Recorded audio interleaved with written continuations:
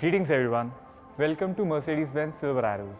I'm Himanshu Seji, presenting you the all-new GLS, that is the S-Class of the SUVs, that has all kinds of strength.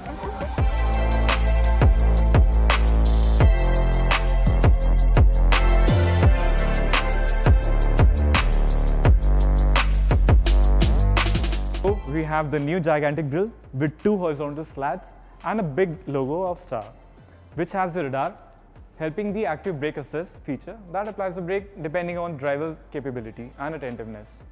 And the new multi-beam headlamps which has a throw of 650 meters.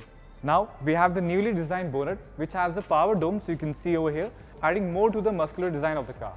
The new GLS is a lot wider, taller and longer by 77 mm. That rides on 21 inches alloy wheels you can see here. This has the shop off-road package and illuminated aluminium running boards. The car has a lot of chrome treatment on the sides. You can see the window trim and even at the roof we have the uh, chrome roof rails adding sportiness to the car. Of course, now the car rides on the airmatic suspension around all the four wheels. The car is already raised to a good amount of height. Moving to the back of the car, we have 3D LED split tail lamps, adding added a lot of chrome around the car as well, around the underguard as well, and the exhaust tips as well.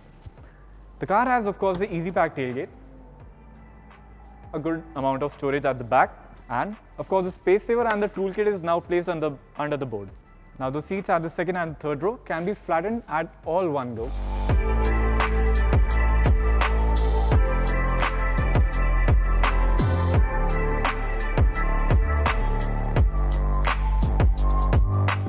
And now this switch lets you lower the car from the back and you can put heavy amount of luggage without scratching the back of the car.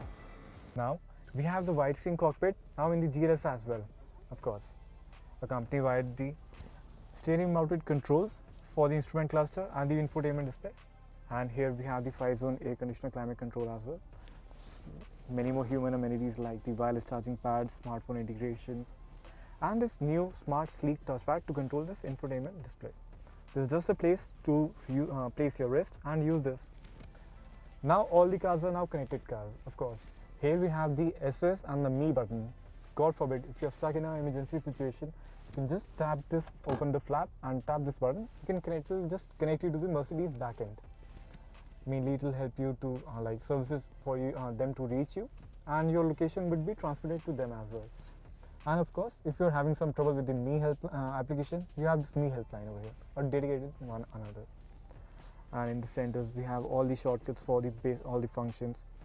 And the best thing, this car is now voice assisted. So just by saying, "Hey Mercedes, How can I help? ambient light to blue," Okay, I am changing the color. of course, it looks beautiful in the night. We have this uh, dynamic select to change the driving modes at any moment. You can do it while driving at and even at idle as well, shifting from comfort that's the default one, eco and off-road. These are the main ones. And this specific button for the auto park assist. Mainly your car can be parked in a parallel and perpendicular manner depending on the conditions and the parking space available to you.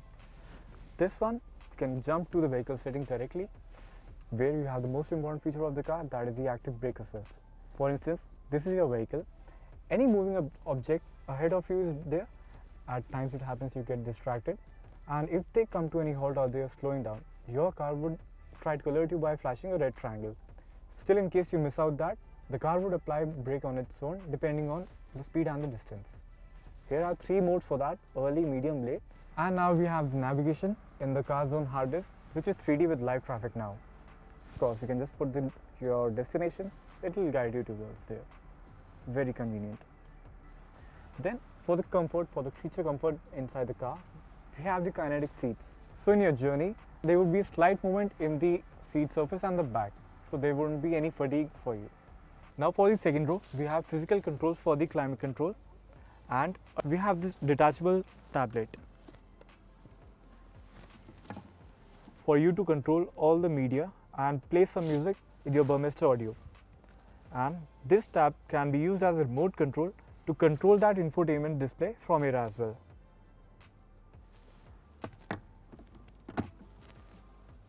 And we have another wireless charging pad along with some storage for you.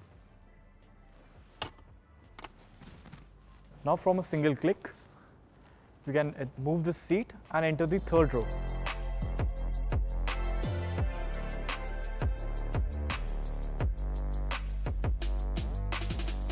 So pretty easy now.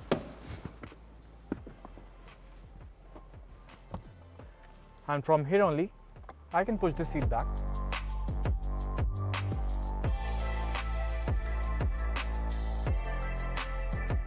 Here this seat sits upright for the safety of my knees.